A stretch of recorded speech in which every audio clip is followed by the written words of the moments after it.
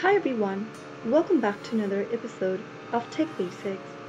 In this tutorial I'm going to show you how to stop emails from ClearScore. First of all, go ahead and open up a web browser to get started. In the URL box type in clearscore.com and search. Also make sure that you are logged into your ClearScore account like you normally do. Once you're in the main homepage of ClearScore, from the main homepage, click on the human icon at the top right hand corner. In the expanded menu, click on My Account. Under My Accounts tab, scroll down and click on the View button under Communication. Now, under the Communication tab, disable the button right next to Insight, News, Tips and Deals. Right after you toggle the button off, you will be able to stop receiving emails from ClearScore. And that's how you easily stop receiving emails from ClearScore by simply toggling off this specific button. I hope the tutorial was helpful to you. If it was, go ahead and give us a thumbs up.